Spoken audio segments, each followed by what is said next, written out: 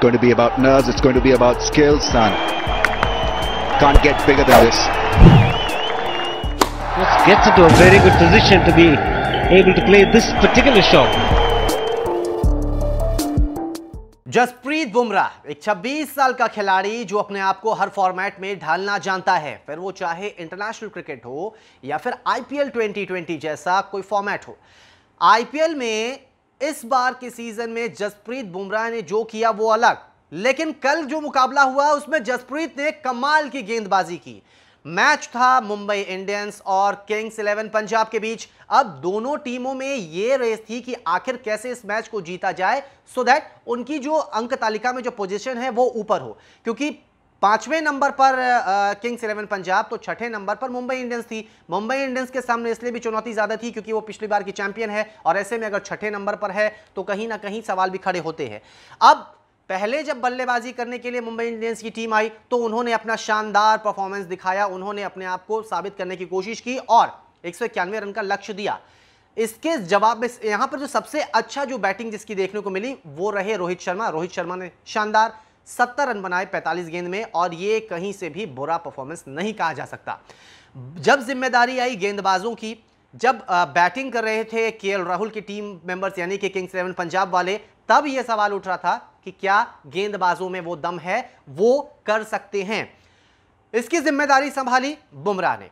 बुमराह आए, उन्होंने, शुरुआत में उन्होंने ज़्यादा विकेट तो नहीं लिए, लेकिन उन्होंने जो गेंदबाजी की और उनके गेंद से रन बहुत कम निकले और इसीलिए जो स्ट्राइक रेट रहा वो बहुत कम रहा जो आ, हम कह सकते हैं मार्जिन था वो बढ़ता गया।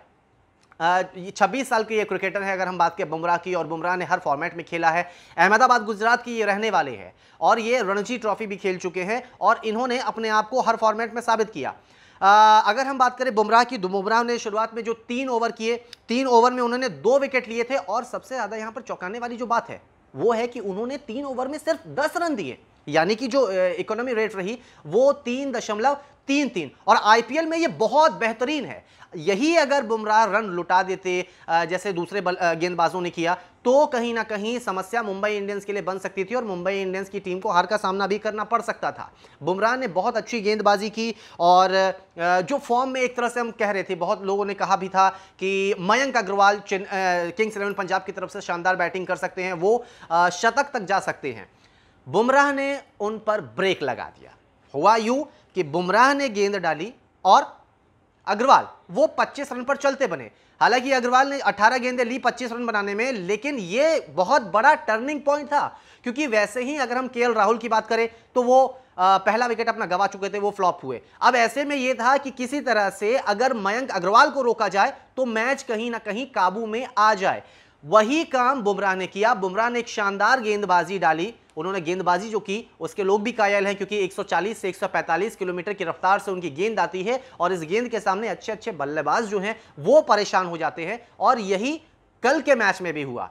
चेन्नई किंग्स इलेवन पंजाब और मुंबई इंडियंस, ये दोनों आपस में कहीं ना कहीं इस रेस में थे कि जीत जाए, लेकिन फाइनल जो बॉलिंग की, जसप्रीत बुमराह ने, उसने मुंबई इंडियंस को शानदार जीत दिला दी और बुमराह मैच के हीरो रहे। It's going to be about nerves. It's going to be about skills, son. Can't get bigger than this. Just gets into a very good position to be able to play this particular shot.